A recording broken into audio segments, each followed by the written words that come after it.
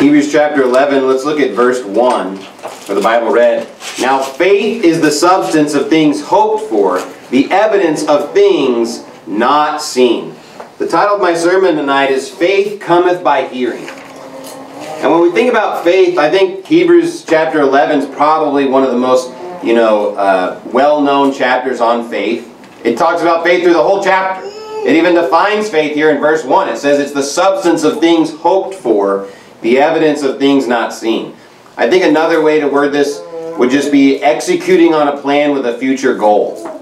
So you, you have a future goal, you have a future idea, you have something that you're hoping for. You have something that you desire to, to believe, you have some kind of confidence, you have some kind of trust in something that you're, you're going for, some type of goal. And the faith is it's executing on a plan with a future goal. So you have that, uh, you're exercising your faith when you do that. Look at verse 17, skip down. Because we see throughout this chapter people exercising their faith. Now, faith and works are different, but we see how people exercise their faith is by their works. So look at verse 17. By faith, Abraham, when he was tried, offered up Isaac. And he that had received the promises offered up his only begotten son, of whom it was said, that in Isaac shall thy seed be called, accounting that God was able to raise him up even from the dead, from whence also he received him in a figure. And the, the point of the sermon tonight that I really want to just drive in is that faith cometh by hearing. Hearing. You say, how do I get faith? It's when you hear something and you believe it. When you hear something and you put your trust in it. When you hear something and you're hoping in that. You have confidence in that. It's not a blind faith. The Bible does not teach a blind faith. The faith that's in the Bible is always that coming from God's Word. Putting your trust and your confidence in something that God said. Look at there, verse 18. It says, Of whom it was said that in Isaac shall thy seed be called. So was Abraham's faith just on a whim? Did he offer Isaac on the altar just because he thought it was a good idea? Because he thought, well, this is this sounds like fun. I'm going to offer my kid on the altar. No. It's because God told him to do it. That's how he had the faith, is because he just believed, hey, God's telling me to do this, I'm going to do it. I may not completely understand it. I may not know exactly how it's going to work out. But I have complete confidence and trust that God is going to be able to even raise my son from the dead. That's what we see here in verse 19. You say, how could a, how could a dad literally put his son on the altar and try to stab him with a knife? You know, I think the unsaved, they really struggle with this story because they think, how could a loving parent, you know, want to kill their son? But we have to get our minds, what, what did Abraham's mind have? He knew that God could even raise him from the dead. Now, if you had complete confidence, complete trust that God was going to preserve your son's life, I mean, why wouldn't you follow God's commandment, right? Because he said what? Of whom it was said that in Isaac shall thy seed be called. He knew that Isaac was going to be multiplying, that Isaac was going to have his seed going to continue to be blessed. He knew that if he killed them, somehow God was going to, you know, come through and Isaac was still going to be that child of promise, was still going to be the seed of promise, was still going to be the one whom Jesus Christ's lineage would come through. He had complete faith in that. Now we see him doing a lot of works. Why? Because of his faith. But it's important for us to understand how to get the faith first, so then we can do the works. Because without the faith, it's impossible to please Him, as the Bible said. So if you're trying to do works without any faith, it's not going to profit you anything. Go to Genesis chapter 22, if you would. So another way to word faith would be trust. Another way to word faith, the Bible talks about it being like hope, the substance of hope. Imagine all the hopes that you have for, for a certain situation. They could all culminate into your faith. You're hoping for multiple things. I'm hoping, you know, a home in heaven. I'm hoping for eternal life. I'm hoping for all these things from the Lord Jesus Christ, remission of sins. And all of them together is my faith on the Lord Jesus Christ. It's a culmination. It's the substance of your things hoped for. The evidence of things not seen. Now when somebody sees your works, that a lot of times will point to what your faith is like. It's not always a perfect indicator, but based on your beliefs and your viewpoints and your faith, that's a lot of times going to determine your actions. It's going to determine how you live your life. So it's important for us to understand the, the correlation and the differences between these two things. But let's understand faith first. Look at Genesis 22 verse 1. It says, And it came to pass after these things that God did tempt Abraham, and said unto him, Abraham, and he said, Behold, here am I. And he said, now what is verse 2? He says, And he said, who's talking? It's God that's talking, right? God's talking to Abraham. It says, And he said, Take now thy son, thine only son Isaac, whom thou lovest, and give thee into the land of Moriah, and offer him there for a burnt offering upon one of the mountains, which I will tell thee of. So he says, Look, you're going to offer Isaac on the altar. And not only that, he's going to give him later instruction. So obviously everything that Abraham's doing in this exercise is all faith, which what comes by hearing. Hearing by God's commandment, he's just doing exactly what God told him to do. He's not making it up as he goes. He's not trying to figure it out. No, God's giving him perfect instruction on what to do. And by faith, he's just following God's instruction. God's clear commandments. Look, skip down to verse 8. And Abraham said, My son, God will provide himself a lamb for a burnt offering. So they went both of them together. Isaac was like, hey, what's going on here? Are you gonna, are you gonna kill me? He's like, God will provide himself a lamb. Look at verse 9. And they came to the place which God had told him of. So was he making up a place to go? No, God told him earlier, hey, I'll tell you where to go. And then later he's like, hey, I'm going to go where God's already told me. Uh, and Abraham built an altar there and laid the wood in order and bound Isaac his son and laid him on the altar upon the wood. And Abraham stretched forth his hand and took the knife to slay his son. And the angel of the Lord called unto him out of heaven and said, Abraham, Abraham! And he said, Here am I. And he said, Lay not thine hand upon the lad, neither do thou anything unto him. For now I know that thou fearest God, seeing thou hast not withheld thy son, thine only son, from me. Probably one of the greatest pictures of God's love. God sacrificing his son for us. And man, I, I don't understand how a modalist can read this story. I mean, how in the world can it just be one person when one of the best pictures is God the Father illustrated through Abraham sacrificing his son upon the altar.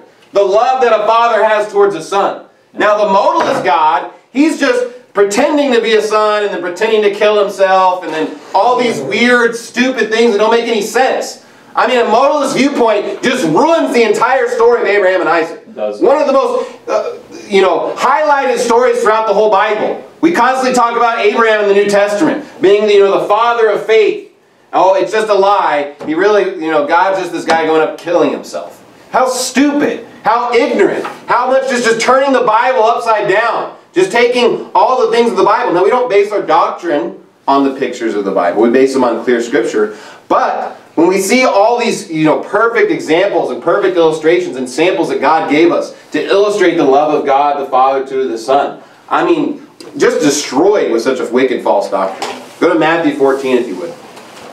So you see, faith for Abraham was what? Following God's commandment. It's very clear. He heard what God told him to do, and he did it. That was his faith was believing that God was going to come through on his promise. It was that God was going to deliver that situation. That in Isaac the seed would still be, you know, called. That it was still going to go through Isaac. Even though he's telling him, hey, go sacrifice your son on the altar, I still believe somehow Isaac is going to be the one that's going to be the call. He's going to be the one that, you know, the blessing is going to come through. The Bible says in 2 Corinthians 5 7, For we walk by faith, not by sight. What does that mean? Well, the walking there would resemble your works, okay? It would be how you live your life. How the walk, the path that you're on, the choices that you make. Where are your feet taking you today? What path are you on?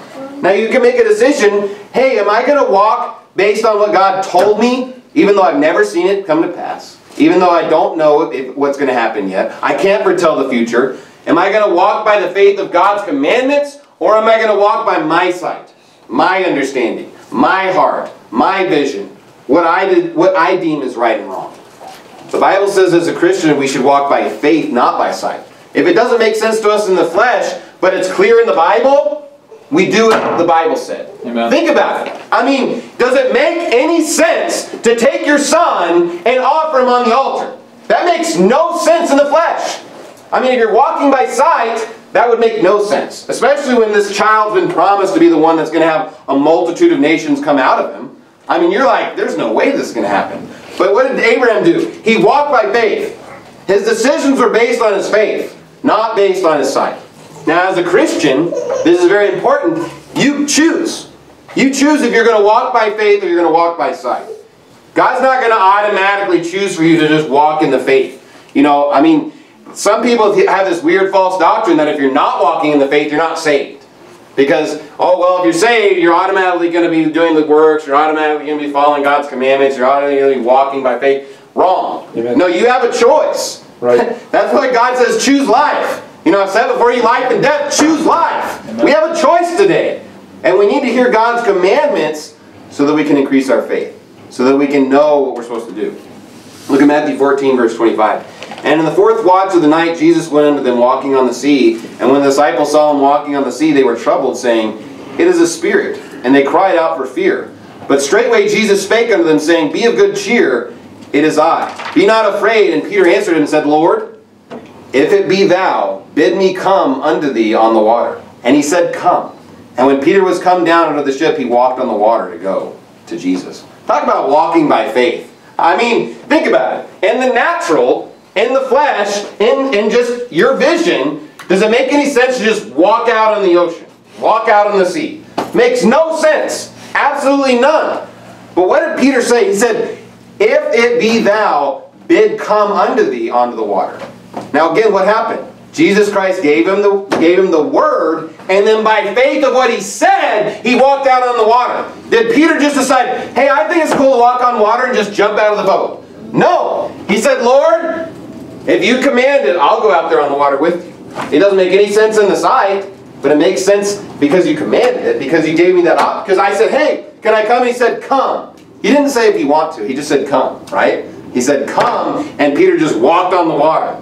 That's a perfect illustration of how the Christian life should be. Amen. A lot of times when you follow God's commandments, it may not make sense. It may not make any sense to the flesh. It may be, you know, a raging sea. It may be a lot of turbulent waters. But you're just walking by faith, not by sight. You say, hey, I know what God said. I'm going to put my faith and trust in God's clear commandments, His clear word, and I'm just going to walk by faith.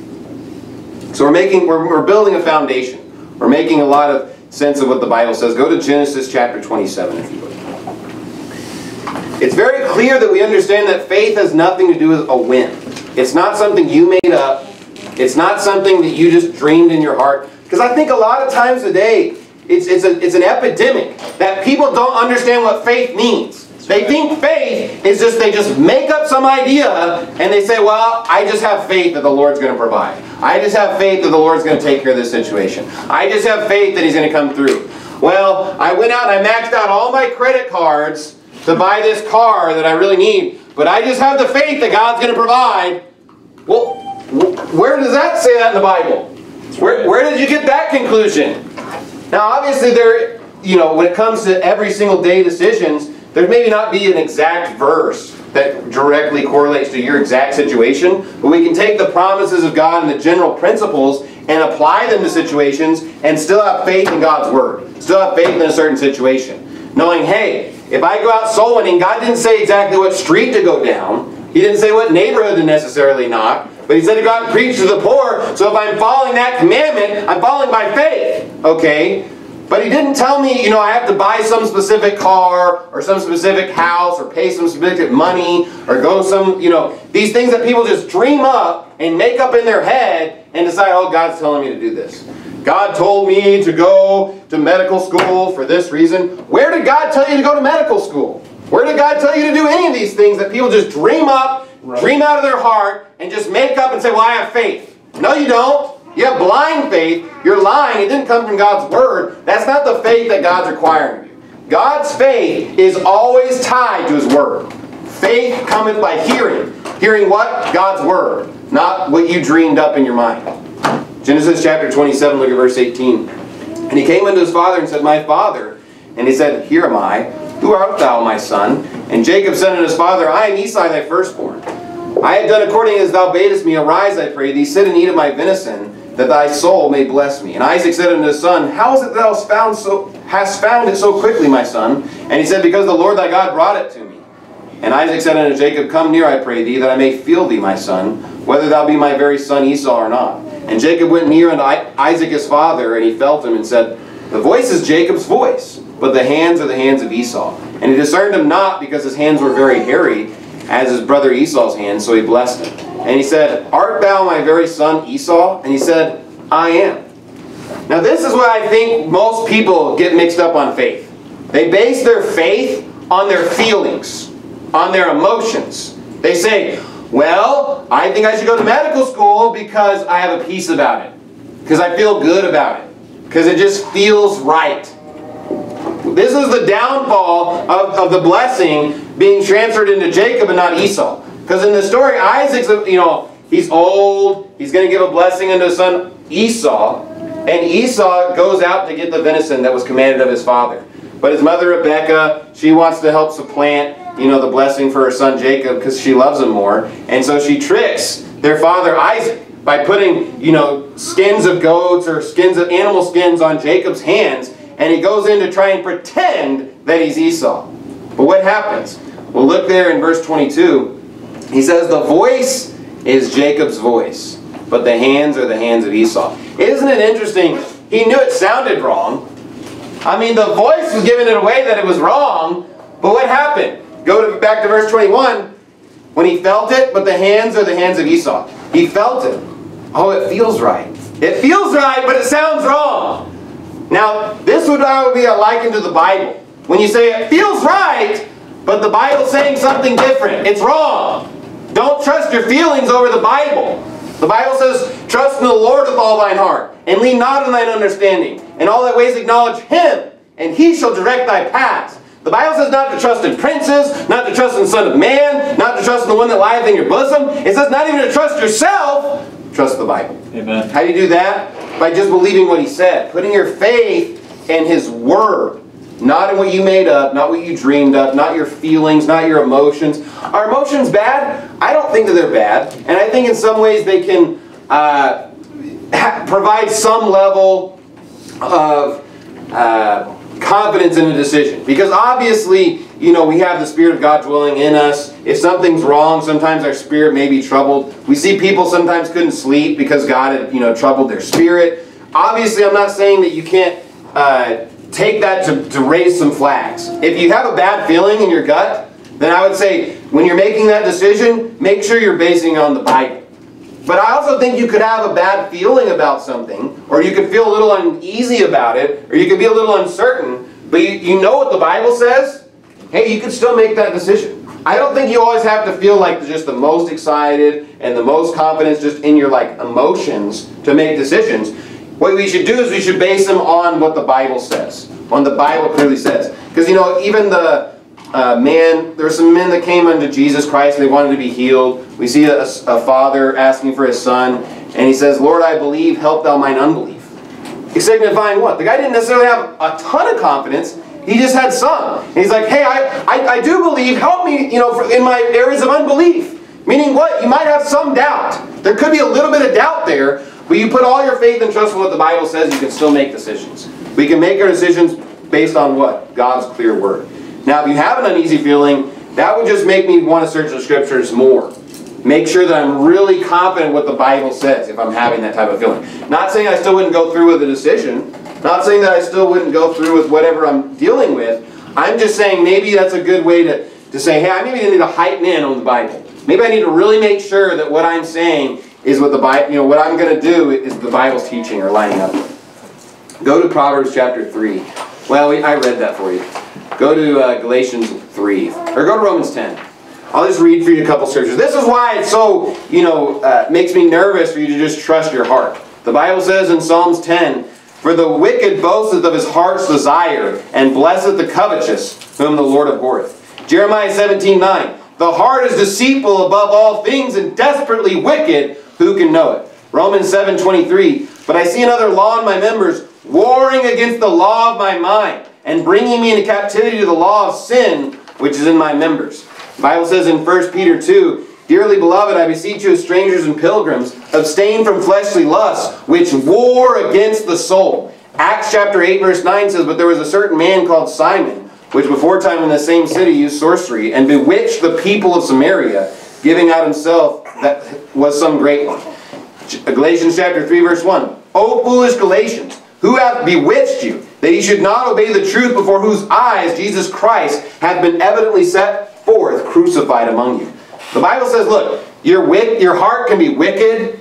Your heart can lead you astray. You have this constant battle between the flesh and the spirit. And we even see people being bewitched, people being tricked, people being, you know, uh, taken advantage of, even possibly Christians.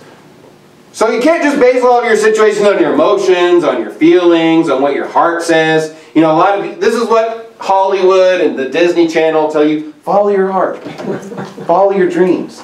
No! Don't follow your heart. Follow the Bible. Follow God's Word. Your heart will lead you astray in many cases. Your heart is wicked and de is desperately wicked. Who can know it? I mean, it's deceitful above all things, what the Bible said. Right? That's a scary thought. That's a scary thought. Now, the Bible does say that, that the Christ would give us the desires of our heart, but I think that's the new heart, the new man. Yep. When we when we believe on the Lord Jesus Christ, we become, you know, born again. And there's the new man within us. And that new man desires those things which please God. He desires to follow the laws of God. He desires to do that which is right in his sight. And so if we walk in the Spirit, God will give us those desires and he'll help us follow them. But there's something warring with us. It's that flesh. It's that old man. It's that old wicked heart where there's no good in it. It just desires that which is wicked and evil and wrong. And as a human, it's a battle to determine, hey, what's going on inside? What are these feelings? Are they feelings from the flesh? Are they feelings of the spirit? We have to discern those things through God's word.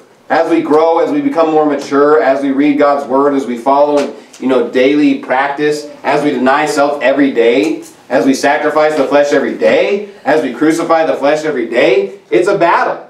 So how can you know? How can I know where I'm at? How can I know in the raging sea? How can I know when there's a tough commandment? It's God's word.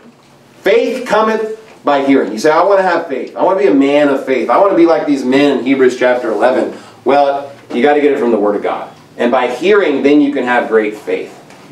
So we went to Romans chapter 10. Look at verse 14. How then shall they call on him whom they have not believed? And how shall they believe in him whom they have not heard? And how shall they hear without a preacher? And how shall they preach except they be sent? As it is written, how beautiful are the feet of them that preach the gospel of peace and bring glad tidings of good things. But they have not obeyed the gospel. For Isaiah saith, Lord, who hath believed our report? So then faith cometh by hearing, and hearing by the word of God. This is where I got my sermon title from. And I have five examples of how we can practically apply this into our life. I think the first one is just salvation. It's just the most obvious teaching of the Bible when it comes to faith. That our faith saves us. How do we get the faith? It comes by hearing God's Word. How do you get someone saved? With the Bible. not of yourself, not of your words, not of your intelligence, not of that little stupid like box that people have and they like open it and it shows up all these different colors. I don't know how to articulate. You have to look it up. It's stupid. these people just make up all these other ways to try and get people saved instead of just using God's Word, using the Bible. The Bible makes it clear that faith cometh by hearing. Hearing what? The Word of God. Not you, not man's opinion, not some story you made up, not your testimony about how you gave up drugs and alcohol and how you stopped sleeping and fornicating and how you got out of a wicked lifestyle. No! That doesn't save anybody. What saves somebody is them hearing God's Word. Why? Because they put their faith in that. Think about it. If you never preach them God's Word, okay, where is their faith at? Their faith is in your words. Their faith is in man.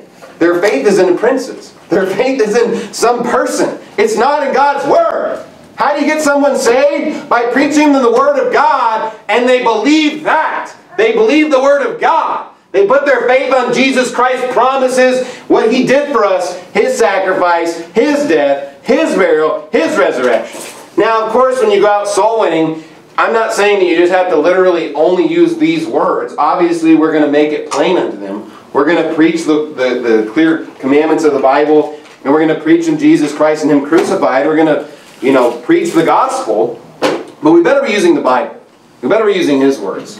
Go to Galatians chapter 3.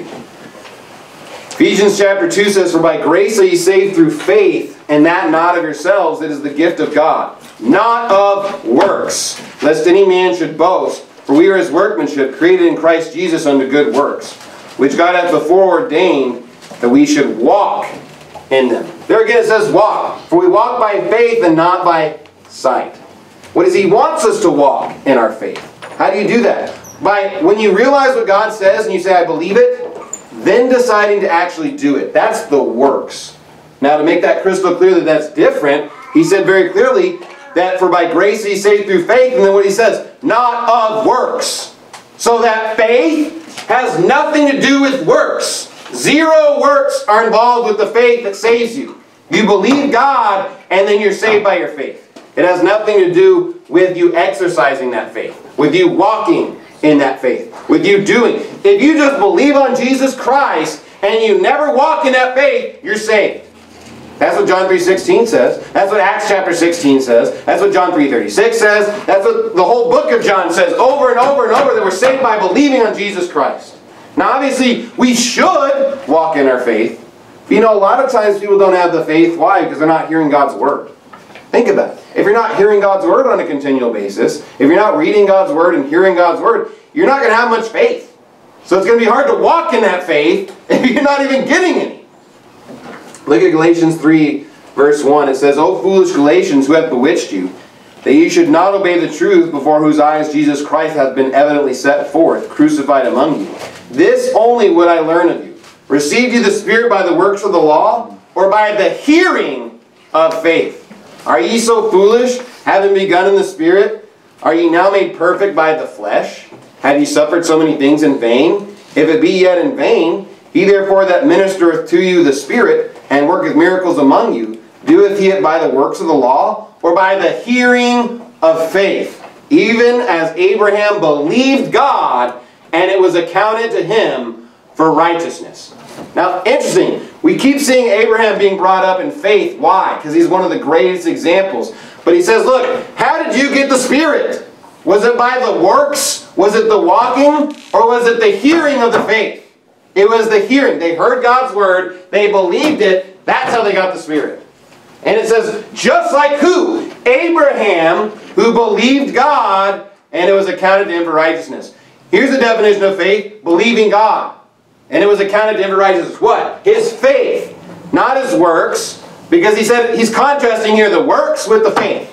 And he's saying, hey, did you get the Spirit by the works? Not at all. Only by the faith. You can only have the Spirit of God by the faith not by the works. Hebrews chapter 4 it says, For unto us which for unto us was the gospel preached, as well unto them. But the word preached did not profit them, not being mixed with faith in them that heard it. So of course there's going to be people that hear the gospel and don't believe it. That's not going to save them. It's not the hearers of the law that are just before God. No, it's those that believe on the Lord Jesus Christ and their faith saves them. Believing God's word, putting your trust, putting your hope, putting your confidence in God's promises. That's what's going to save you. Not the following them out, not the walking in them. We obviously have to have the faith first before we can walk in it. Go to 1 Thessalonians chapter 2. So, in Luke chapter 8, it's interesting, it says in verse 21, And he answered and said unto them, My mother and brethren are these, which hear the word of God and do it. Now what was happening? Jesus was preaching. They're saying, hey, your mother and your brethren are without. They would desire to speak with you. Okay? His mom and dad, or mom and brother wanted to talk to him. And he's saying, hey, you know who's my mother and my brother? Those that hear the word of God and do it. Who's he talking about? The saved. He's saying, hey, those that hear the word of God and do what? They hear that you have to believe on Jesus Christ to be saved, and they do that. There's brethren. There's mother. The saved are those that hear the word of God and then believe it. What are we talking about? We're talking about how you have faith in God's Word. What's the most practical application? Being saved. How does one get saved? They hear the Word of God, and then they believe it. That's how they get saved. That order. You can't believe something that you've never heard. That's what it made very clear in Romans chapter 10. That wouldn't be faith. And at best, it'd be blind faith. Okay? Just making something up. Look at 1 Thessalonians chapter 2, verse 13. For this cause also thank we God without ceasing, because when you receive the word of God, which ye heard of us, ye received it not as the word of men, but as it is in truth the word of God, which effectually worketh also in you that believe. For ye, brethren, became followers of the churches of God, which in Judea are in Christ Jesus. For ye also have suffered like things of your own countrymen, even as they have of the Jews, who both killed the Lord Jesus and their own prophets, and have persecuted us, and they please not God, and are contrary to all men forbidding us to speak to the Gentiles that they might be saved, to fill up their sins always, for the wrath of, is come upon them to the uttermost. So in verse 13 he makes it clear, hey, you received the word of God which ye heard of us. They heard the word of God, and that's how they got saved. And they didn't receive it as the word of men, but as the word of God. And then look at verse 16. Forbidding us to speak to the Gentiles that they might be saved. How would they get saved? You preach them the Word of God. They hear the Word of God. Then they can believe and be saved. If If you never preach the, God, the Word of God, if they never hear the Word of God, how are they going to get saved? They can't. They've got to hear the Word of God. Faith cometh by hearing. Go to James chapter 2. Now, unfortunately, there's churches all over this country that will teach that faith is works. They say, well, I mean, if you have the faith, then you're going to have the works. Because they're the same. There's this stupid false prophet. His name's like J.D. Greear. Yep. I need to like preach a whole sermon on that guy. But he wrote this stupid book called like Stop Asking Jesus into Your Heart and How to Know That You're Saved. And in one part of the book, he says in John chapter 3 verse 36, he uses the modern fake Bible versions where it says, uh, when, it, when it's talking about he that believeth in the Son hath everlasting life, and he that believeth not the Son shall not see life, but the wrath of God abideth on him. Most modern Bible versions change that latter half to say those that do not obey the Son. Yep. They say obey. He takes that passage and says, I'm so glad that they use this wording. Because it finally helps us understand what believe means. Because you'll read in the, you'll read a lot of this book and you'll say, well, we're just saved by believing. We're just saved by faith. What he's a false prophet. And you say, how do you know that? Because he changes the definition of what it means to believe or to have faith. He changes it to say, well, that is because believe and obey are synonyms. Direct quote from his book. He says believing and work, like doing the works, he's saying obeying is synonymous. It's the same thing. Why? Because he's saying, well, if you're not doing the works, do you really believe? That's the question that they always ask. Well, if you're not really following God's commandments, do you really have the faith? Yeah. Do you really have... Well, look, yes, you can believe something's true and not do it. Abraham could have believed that God would have raised up Isaac, his son, from the altar, but unless he actually went to do it, God wasn't going to accept that sacrifice. Okay? There's a difference between your works and your faith. And we're going to see that here in James chapter 2. Look at verse 17. This is this is like basically destroying the false doctrine that they teach, but they'll use this to prove their points. Yeah. And in verse 17 it says, Even so faith, if it hath not works, is dead, being alone. Now it's interesting just this verse alone, because it's saying, hey, faith and works. If it's dead, it's alone. So it's saying if it was alive, guess what? It wouldn't be alone. Meaning there's more than one thing here. We're not talking about one thing. They're not synonymous. They're not one. There's two things here. There's faith and there's works. But if there wasn't works, now one of them's alone, isn't it? The faith, okay? So we see here, even in this verse, it describes us that faith can exist without works, but it's dead faith. It doesn't profit man anything. Look at verse 18. Yea, man may say, Thou hast faith, and I have works. Show me thy faith without thy works, and I will show thee my faith by my works. Thou believest that there is one God, thou doest well. The devils also believe and tremble. But wilt thou know, O vain man, that faith without works is dead? Was not Abraham our father justified by works when he had offered Isaac his son upon the altar? Seest thou how faith wrought with his works, and by works was faith made perfect? And the scripture was fulfilled which saith, Abraham believed God, and it was imputed unto him for righteousness. And he was called the friend of God. Ye see then how that by works a man is justified, and not by faith only. So let's look at verse 22 for a second. Now think about this for just the timeline. Abraham believes God. When is this? In circumcision or uncircumcision? In Romans chapter 4, it makes it clear it was an uncircumcision. Okay? Before he ever even had Isaac to begin with, he already believed God. Okay? So now he's righteous. Right? But it says here in verse 22, see, uh, seest, and then look at the end. His faith was made perfect. Okay, so what does that mean? How can your faith be made perfect? Well, if you have faith, it means you're believing something in the future. You're believing some promise. You have the hope. You're trusting in something. You haven't seen it come to pass. You haven't seen it take fruition. Now, what does perfect mean a lot of times in the Bible? It means complete. Okay? So, when Abraham offered Isaac his son upon the altar, believing that God was going to somehow save him, and then God spared him, okay, his faith became perfect. It was completed in that moment.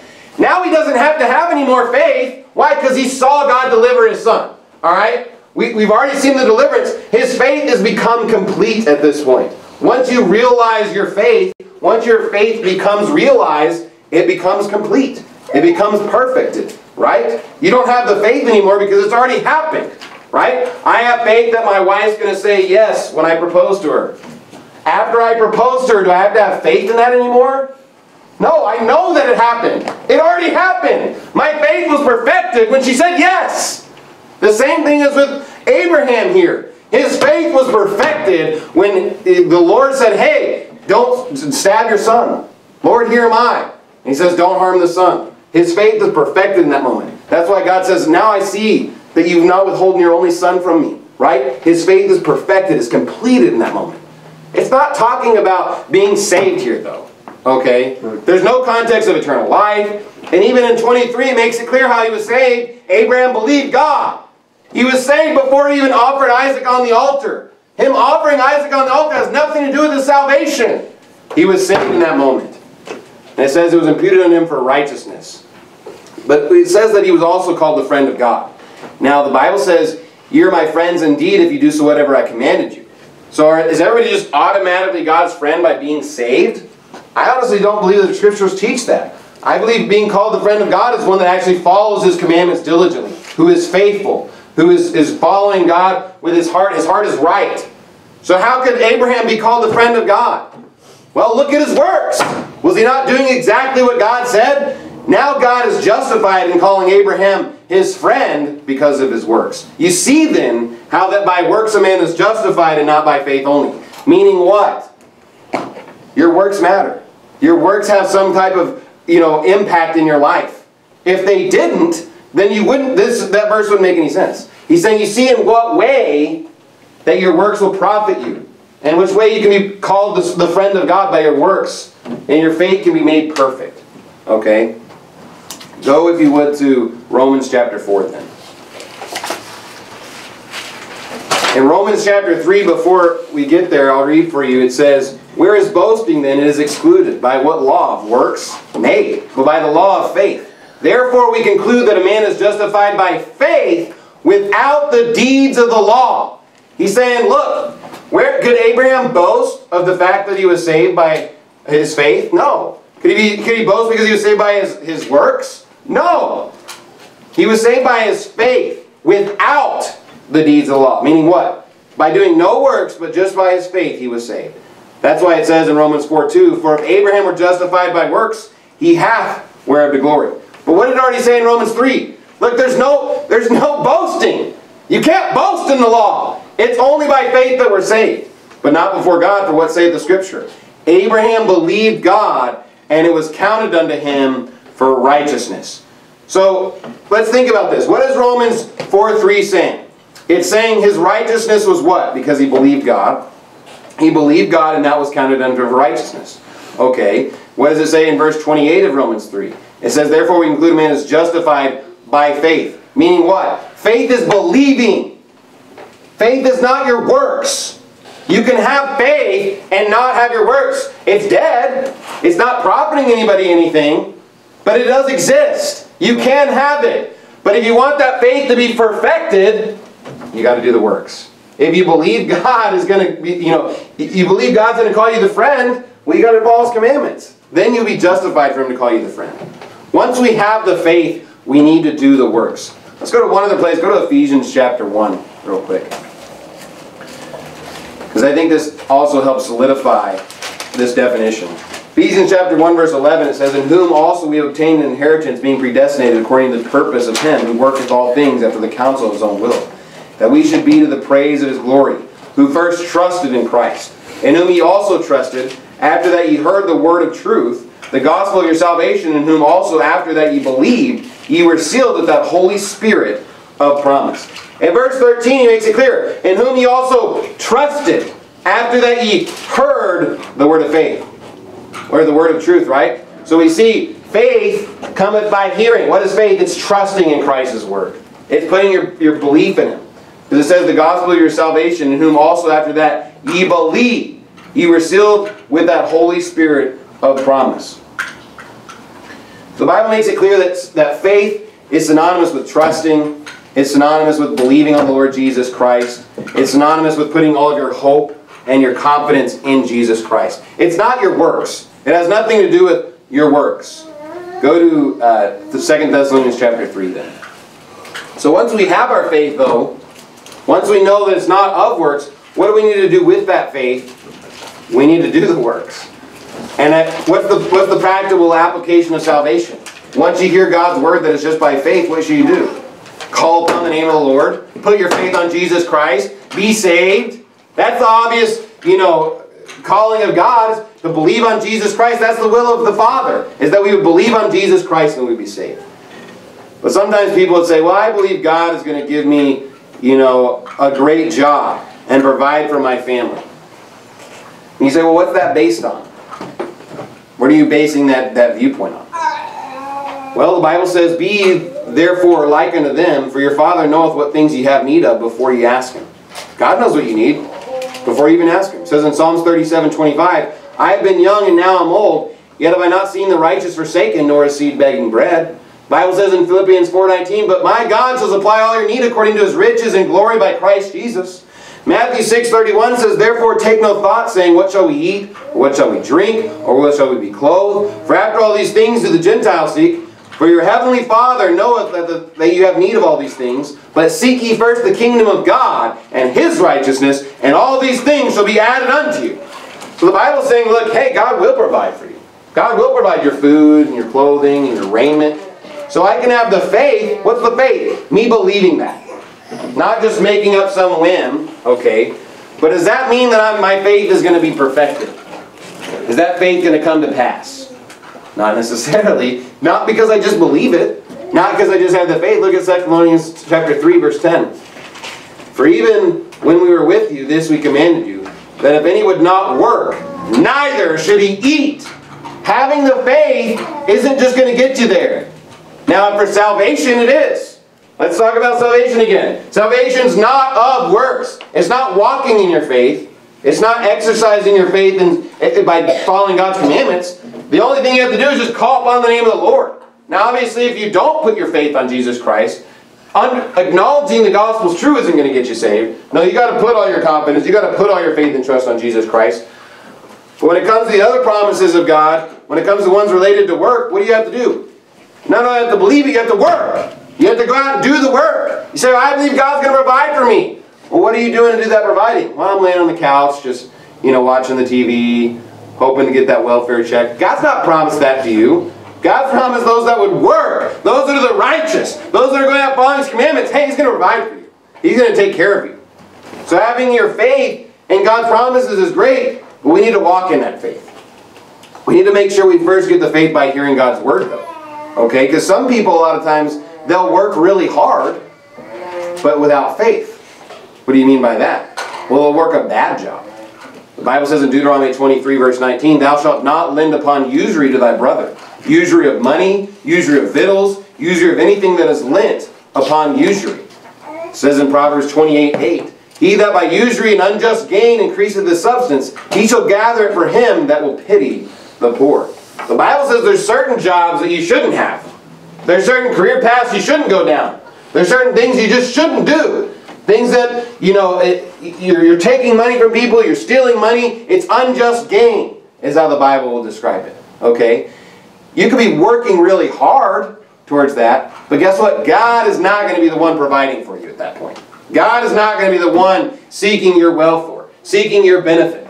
So we have to pair our faith with our works. We have to say, hey, first I'm going to get the faith by hearing God's Word, getting His clear commandments, knowing what he said, and then I'm going to walk in that faith and do it. So we can't get one or the other. We're going to get screwed up. The Bible says that uh, in, in Hebrews chapter 6, it talks about repentance of dead works. What's a dead work? It's doing works without the faith. So we have dead works and we have dead faith. What are they? Alone. But they're different. So we first have to get the faith by hearing God's word. And I think a lot of times I think the problem with Christians today, with America today, is not the willingness to work a lot of times, it's the faith.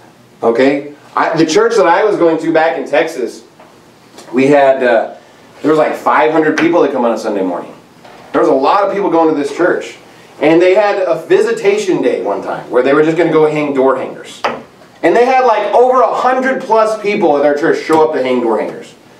But they never had a soul winning time. They never encouraged soul winning. They never had a dedicated, you know, program or anything. I know that if they had one, dozens of people would go out every week and go out and work. But you know what they did have? They had people constantly coming to church volunteering to do Sunday school, and they had choir practice several times a week, and they had all kinds of discipleship classes. They had Faith Bible Institute. They had all these programs, all these things that people are constantly working at and devoting at, and they're at the church, you know, several hours of the day. They probably were at the church building more than a lot of people at Faith Baptist Church. Because they got the Sunday school in the morning, then they got the church service, then they have like a luncheon at the church, then they have choir practice for the church, then they have some classes after this evening service. I mean, they're spending hours and hours at the church, but what? Guess what? Their work's not mixed with the faith. Faith cometh by hearing. We need to make sure that everything we're doing is lining up with what the Bible clearly says. We're not making it up. Well, I just have faith that God's going to bless this Sunday school class. Well, where'd you get that? From the Bible? Is it in God's clear word? Well, I just have faith that He's going to bless all this extra time I'm spending in the church nursery and all these extra resources I'm spending. Where'd you get that? Did you get it from the Bible? No, it's not going to profit. We need to have first get the faith, then we can go do the works. And what was James doing? He was saying, look, he had a lot of people that had the opposite problem, right? They might have the faith or claim they had the faith. And he's like, well, where's your works? Show me your faith. If you really have that faith, if you really believe God's promises, hey, I believe I got soul winning, I'll get people saved. Well, where were you at the soul winning time? where were you? You know, when did you go out and knock doors? Show me your faith. We need to make sure that we have the faith to, to match with our works. Go to Proverbs 23 if you would. He said, well, I believe my children are going to turn out to be really godly children. So how do you, where do you get that from? Well, the Bible says, train up a child in the way he should go, and when he is old, he will not depart from it. That's true. That's a true command of the Bible. I think that's a promise that parents could hold on to. But guess what? You better make sure you're training that child up according to what the Bible says, according to the faith of God's Word. It says in Proverbs 13, 24, He that spareth his rod hateth his son, but he that loveth him chasteneth him betimes. Bible says in Proverbs 19, 18, Chasten thy son while there is hope, and let not thy soul spare for his crying. Look at Proverbs 23, verse 13. Withhold not correction from the child, for if thou beatest him with the rod, he shall not die. Thou shalt beat him with the rod, and shalt deliver his soul from hell. You know what parents need today? To beat their kids. Yes, that's what I said. Beat their kids with the rod of correction. Why? So they won't go to hell, so we won't raise a bunch of derelict losers that don't respect any authority, don't have any fear of God, don't have any fear of anything. They're just spoiled, rotten brats. And that's what we see today. But you say, well, how am I going to know that's true? How am I going to know that me, you know, not telling him, oh, it's okay, Johnny, that's not the best thing for you to do. Versus just giving him a beating, how do I know which one's right? Well, guess what? When it comes to parenting, you don't. So where are you going to put your faith? Are you going to put your faith in man? Are you going to put your faith in your heart's desires? Or are you going to put it in God's Word? say, I, I know what the Bible says. I have the faith. Now I'm going to walk in that faith and I'm actually going to do what it says. Now I'm, put, I'm putting my faith and promises on God's, hey, train up a child the way he should go, and when he's old, not depart from it. Now I can have that exercise in my life. There's a lot of other areas in parenting. Go to uh, James chapter 5. When we're, we're making any of our decisions, you say, how can I walk in faith? You got to read a lot of Bible. Hear a lot of Bible preaching. Get the Word of God flowing through your mind. Meditate on His Word day and night. That's how you can increase your faith. That's how you can know what you're doing is right. That's how you can walk by faith. If you're not hearing God's word preached, if you're not doing any of His commandments, guess what? You're not going to be walking in His, His, His word. That's why we see these, you know, mega churches, these liberal churches are filled with people with sin. Why? Because they're never hearing God's word. Think about it. How are they going to even walk in God's word when they're just never hearing it? It's just never preached. They're not hearing any of God's commandments. They're so ignorant of the Bible, they don't even know what it says. They're just quoting all these losers and false prophets that just make up their own quotes like Gandhi, you know, hate the sin, love the sinner. It's not even the Bible. Why? How are they going to walk in the faith of God's Word when they've never even heard it? Faith cometh by hearing. What does America need? It needs more people to preach the Word of God. We need more people to go out and preach God's Word so people can hear it and then walk in that faith. But you know what? If it's never going out and getting preached, never going to walk in it. We don't just need soul winning. We need also Bible preaching. We need church. We need people to come into the church and hear God's word and get edified and increase their faith so they can walk in that faith. You know, I heard some person, oh, I don't believe in structure. Well, God believes in structure, and I'm going to put my faith in what God said, not my own opinion. I'm not going to lean on my own understanding. I just believe all good things are going to happen to me. Because the Bible says, we know that all things work together for good to them that love God, to them who are the called according to his purpose. Well, you know what? God is going to bless those that follow his commandments, that are living according to his word. Yep. It says, Great peace have they which love thy law, and nothing shall offend them. Hey, if you love God's word, and you're constantly meditating in it and walking in it, yeah, you're not going to be offended. You're not going to sin. You're not going to walk in wickedness. For we walk by faith, not by sight. Look at James 5, verse 16. Confess your faults one to another and pray one for another that you may be healed. The effectual fervent prayer of a righteous man availeth much. Right. If you want God to bless you, be righteous. Go to Matthew 5. It says, He that turneth his ear from hearing the law, even his prayer shall be abomination. Things are going to be working out well for you when you're not following his word. We need to build our faith by knowing more of God's word. So then we can walk in it. The Bible says the Lord is far from the wicked, but he heareth the prayer of the righteous. The Bible says, For not the hearers of the law are just before God, but the doers of the law shall be justified. Guess what? You knowing it and believing it isn't going to get you there. No, you also have to walk in it. If you want God's blessing in this life, you have to do the works. Now, when it comes to salvation, it's a free gift. It is just, it, just believe it. Just put your faith and confidence on Jesus Christ. Call upon the name of the Lord, trusting in Him alone, you're saved. But if you want blessing in this life, you have to follow His word. Matthew 5, verse 11, Blessed are ye when men shall revile you and persecute you, and shall say all manner of evil against you falsely for my sake. Rejoice and be exceeding glad, for great is your reward in heaven, for so persecuted they the prophets which were before you. Go to Hebrews 11. We'll finish there. So you're blessed when they persecute you falsely. When they say evil against you falsely. Good things are not going to work together for you when you're doing stuff evil and they're speaking evil of that. Oh, you stole from me. Oh, you, you're cursing at me. You smite, you're smiting me. You, you lied to me. You deceived me. You're committing fornication with my daughter. Guess what? That's a way to get killed. I mean, there's a lot of wicked people today, but if you fornicate with their daughter, they might kill you. If you fornicate with their wife, you, you're a dead man.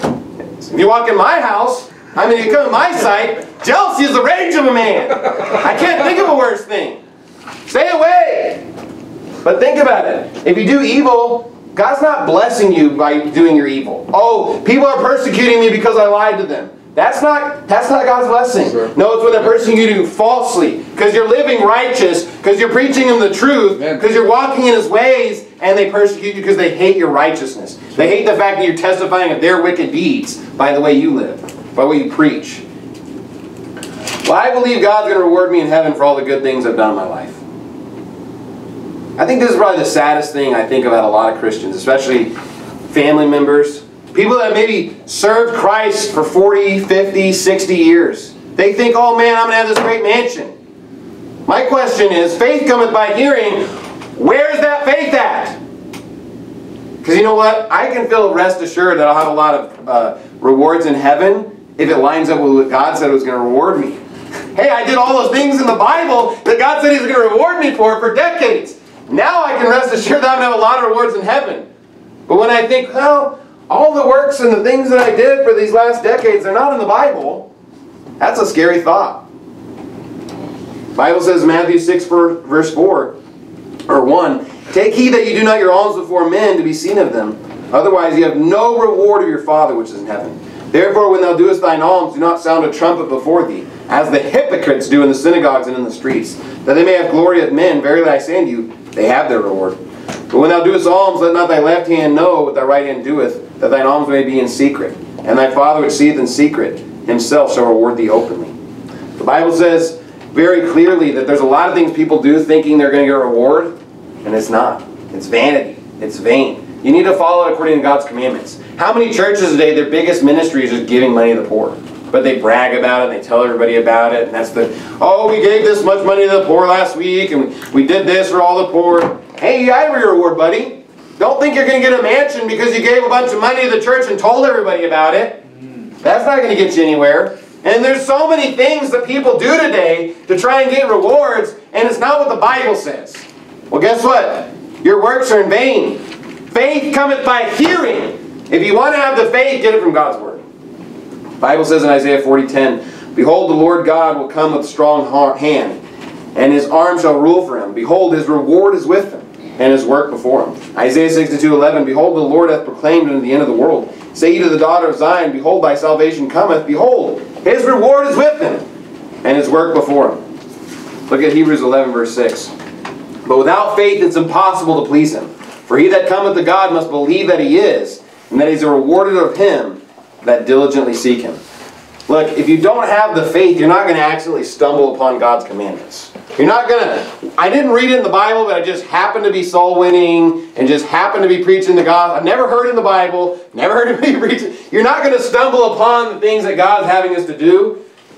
You got to have the faith. And you got to believe that He is, and He's a rewarder of them that diligently seek Him. If you believe God's going to reward you, hey, then follow His words. Build up your faith with what He told you to do, and do that, and then you can know, hey, He's going to reward me. Because I have faith and promise in His Word. So how's faith going to profit us? Obviously, your salvation. It's not of works. It has nothing to do with walking your faith to be saved. It's just believing on Jesus Christ. But all other areas of our life, you better walk in that faith if you want the blessings of God. If you want God to follow through in His promises, if you want Him to provide for you, to take care of you, to provide that job, you better be willing to work. You better go out and follow His Word. If you have your children, you want them to be godly children, you better follow God's Word. His commandments on how to raise your children, how to love your children, how to discipline your children, how to instruct them in the Bible, and teach them the ways of God. If you say, well, I just want God to bless me in my life, you got to follow His commandments. And if you say, hey, I want the rewards in heaven, you better make sure they're lining up with what God said. Faith cometh by hearing. Let us increase our faith by hearing God's word. In Jesus' name we pray. Let's pray. Thank you, Father, for this word. Thank you so much for giving us the ability to hear all of your commandments. Giving us the King James Bible so that we can put all our faith and trust in it. So that we can know which way to walk. So that we can not only be blessed in this life, but we can also have reward in heaven. Thank you so much for your free gift and all the blessings and rewards that also come to us. I just pray that every one of us would continue to increase our faith by hearing your word preached. In Jesus' name we pray, amen. Amen. For our last song, 97. I need thee every hour. Song number 97.